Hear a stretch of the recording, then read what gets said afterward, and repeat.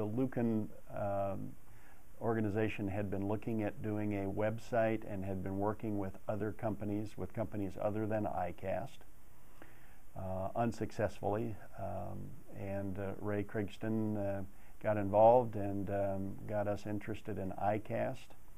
And it has worked out very, very well. Um, ICAST uh, basically started from the ground up took the information that uh, Luken provided them and uh, presented us with a, what I perceive to be a great website product. How do you use the websites that were built for Luken? Well, it's it's really helped a lot because uh, we have we're finding that uh, society, of course, is kind of spread out now. The kids uh, kids don't live in Sioux City anymore. Possibly they may have moved from Sioux City, but uh, when, when perhaps a parent passes away and they have a need for a memorial, um, it, it's easy to me, for me to work with, uh, with, a, with a person in, uh, that doesn't live anywhere near Sioux City. Uh, we can uh, both be on the website at the same time, for instance, and I can describe to that person uh, designs and colors of granite and features that they're interested in um, which is, you know, it, it really makes it easy to work with that customer directly in that regard rather than uh, before the website I had to send them photos and uh, try to describe uh, uh what those photos were, were showing, et cetera. So this works just much easier and we use it on a, almost a daily basis with customers. So how has social media impacted your business?